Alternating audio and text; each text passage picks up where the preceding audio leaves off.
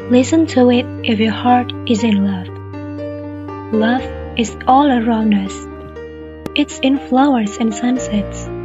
It's the whisper in trees, the breath of a newborn child.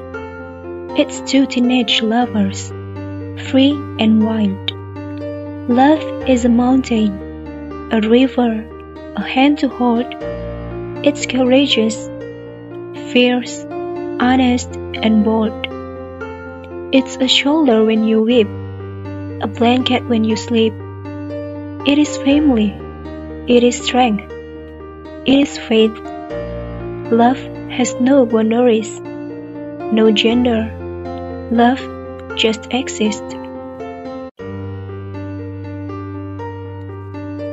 You always just want more. Longer kisses, longer hugs, more time spent together. You'll drive around the block five times just to give them another hour. Everything is another story to the bookshelf you are building. Their happiness becomes just as important as yours.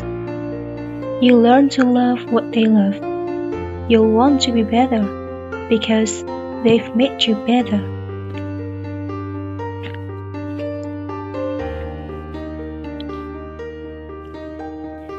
There are things we take for granted, like fresh laundry and a window to watch the sky. There are times we see loss and pain and we question why. But I will never apologize for leaning across the passenger seat to press my lips to yours.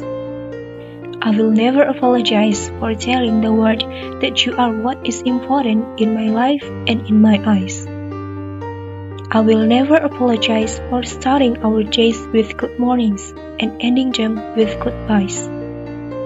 I will never apologize for all the memories that we share or the lyrics we poorly sing.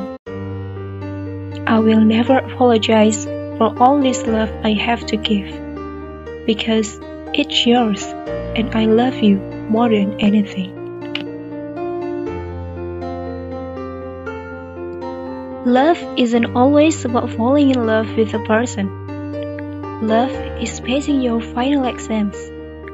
Love is watching the sun come out between the clouds. Love is finding the light when you are in the dark.